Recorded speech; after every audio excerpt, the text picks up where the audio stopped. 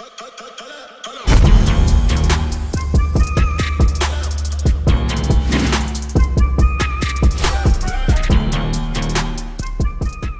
know, bring returns.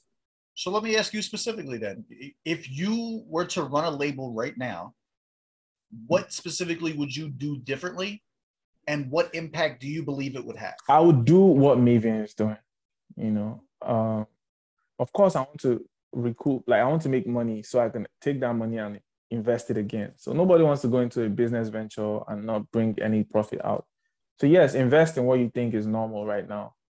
Um, um, that you think people would like, right? Invest in that, but also be like a scout. Um, I was watching. Uh, I don't know if you've seen this new movie, Hustle. Um, Not yet. Is the basketball jump? Yeah, that basketball joint. Uh, the guy went out looked for a talent, rough around the edges, but super talented. He discovered that guy and brought him to the big leagues. Um, my point is, invest in what everybody likes right now. Look for something that they are not used to, and be the one who discovered it. Do you understand? Um, I understand. I got let let that be like something you are doing on the side or whatever that is. But but invest in that and help that person grow to a point where, um, if he's fortunate enough, everybody comes to be in tune with him, and and then you will be the trendsetter or the trailblazer or whatever wherever it is you you want to be. But I don't believe any label that has um, foresight should just focus on what's trendy right now. That's why I think Mavin will always be my favorite, you know, because they have artists from different um, spectrums. Though their their normal Afrobeat artists are more, but they have somebody like Johnny Drille who makes uh, the type of music he makes. I think you call it country or whatever it is. You have Ladipoe on the other hand, hip hop artists. You know, so I don't know. That's what I would do if I had a label. You know, not just one type of artist. Gotcha. All right. All right. So let me this. You get your own label, right? Yeah. What do you run differently in your label versus how visibly you see labels operating right now? Hmm. Um. Okay, I think I think personally, I'll try to involve as many people that are genuinely interested in, you know, seeing the music do well. Not just not just you know not just about you know the money, but actually breaking records and you know getting the kind of exposure that Nigerian music deserves. You know, because Nigerian artists are talented and everything, but at the end of the day, there are a lot of labels, a lot of artists that don't go beyond a few years in the game, and you know somebody makes all the money they need to make out of them and move on to the next new thing. So at the end of the day, I think the music is still so important. So I think for me, I'll try to make sure everybody that I have involved is really about the music. So to to encroach on your previous answer, if you mm-hmm. were given a label and the ability to run a label, the, the, the finance and everything like that, the change you would make is you would you would bridge the business into the culture. You would make the business actually start pushing the culture forward and and, and be a part of the culture with breaking artists and, and doing that's essentially what DJs were supposed to do, right? That's that's the role that DJs played was Yeah. was breaking breaking new artists, breaking new records and things like that. You would have the label come in and play that role. Mm-hmm. Okay. Interesting. Go back onto the label thing, right? So in the event that that you were put in a position to run a label, what would you do differently? Because you had said that like what it's gonna take is for someone who loves hip hop and has the money and the label to make a difference. If you were put into Yeah. that position and you had the money, you had the label, obviously you have a love for hip hop and its creation, what would you do differently that would impact the industry? what I would do is I would also sign a rapper like I sing, but they would drop rap songs, melodic rap songs, and also songs that are Afro pop. They would be just in their music. You just vers- they will show versatility, versatility in their music. And you don't think they're doing that now? They think they're just focused on the the pop side of it? Rema did that. Rema showed a lot of versatility, but like now, Rema is just showing Afro pop, the Afro pop side of him. It's not doing the other for most for the most part. Yeah, in there are some songs on his album that he showed the other side of him, but like for see the thing is, if you want to have a commercially viable song, you drop a single. In this day and age,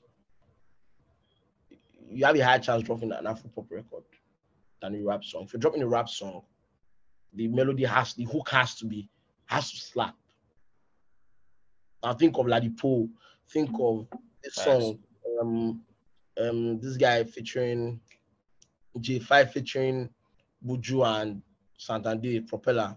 Like you have to the hook most like has to slap, has to slap. So, so if you Right. are in a position, right, like you're now tomorrow, you're running a label, all right, it's up and Mhm. running, it's going, it's booming, right? What specifically would you do differently, and what impact do you think that would have for your artists? Yeah, like I said, not um not to be, say it's of course it's a business and you're out to make money and stuff, but still sometimes I feel like you need to tend more to like the welfare of the artist.